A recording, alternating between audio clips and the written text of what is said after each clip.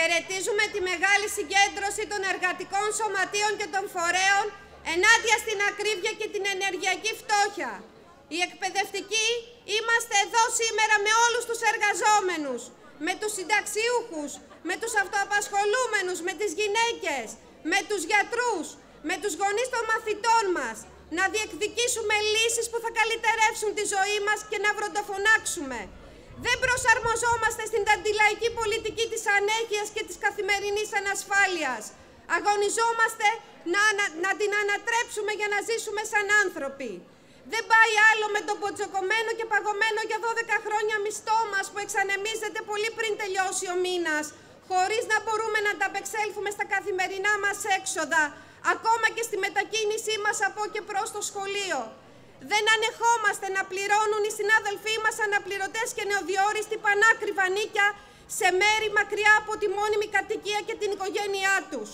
Δεν είναι λίγες οι φορές που βάζουμε το χέρι βαθιά στην τσέπη για να προμηθευτούμε παιδαγωγικό υλικό για να κάνουμε το μάθημά μας όταν τα ταμεία των σχολικών επιτροπών έχουν στερέψει, όπως αυτό εδώ του Δήμου μας. Την ώρα που η κυβέρνηση της Νέας Δημοκρατίας δίνει απλόχερα δωράκια στους επιχειρηματικούς ομίλους, η διαχρονική υποχρηματοδότηση των σχολικών επιτροπών από το κράτος έχει πάρει δραματικές καταστάσεις και μειώνεται σχεδόν κατά 60%.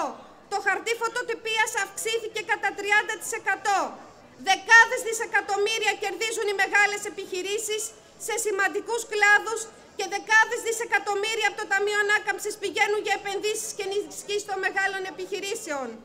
Την ίδια ώρα, οι αυξήσεις στους μισθούς, η κάλυψη όλων των κενών από την αρχή της σχολικής χρονιάς στα σχολεία, οι σύγχρονες κτηριακές υποδομές, η μείωση του αριθμού των μαθητών στην τάξη, η στελέχωση των δομών της ειδικής αγωγής, η μονιμοποίηση όλων των αναπληρωτών, η επαρκής κρατική χρηματοδότηση των σχολικών επιτροπών, η ενίσχυση των μονάδων υγείας, η κατάργηση όλων των άδικων φόρων αντιμετωπίζονται ως κόστος που δεν χωράει στους δημοσιοοικονομικούς περιορισμούς.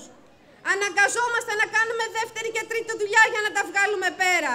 Αναγκαζόμαστε να κόβουμε και από αυτά που δεν έχουμε και ταυτόχρονα αντιμετωπίζουμε την εκπαιδευτική πολιτική του Υπουργείου Παιδείας και της κυβέρνησης που επιχειρούν ένα σκληρό και ανταγωνιστικό σχολείο με γνώσεις, κοσέρβα, δεξιοτήτων και εξουθενωμένους εκπαιδευτικούς. Δεν θα μείνουμε θεατές στην εξαθλίωσή μας.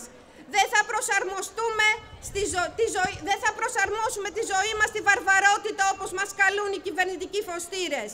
Δεν μπορεί το 2022 να παρακαλάμε να μην κάνει κρύο στα σπίτια μας και στα σχολεία. Δεν περιμένουμε σωτήρες και εναλλαγή κυβερνήσεων. Ο χειμώνας θα είναι δύσκολος όχι για εμάς αλλά για εκείνους. Με σημαία την υπεράσπιση του παιδαγωγικού μας ρόλου, με το βλέμμα στραμμένο στους μαθητές μας, θα μπούμε εμείς στα σπίδα, ώστε κανένα παιδί να μην κρυώσει αυτό το χειμώνα, να μην πεινάσει, να μην μείνει πίσω χωρίς την απαραίτητη εκπαιδευτική στήριξη. Όπλο μας η αλληλεγγύη. Παίρνουμε την κατάσταση στα χέρια μας. Οργανώνουμε στα σωματεία μας, σε κάθε σχολείο, τον αγώνα για τις δικές μας ανάγκες και κλιμακώνουμε την πάλη μας.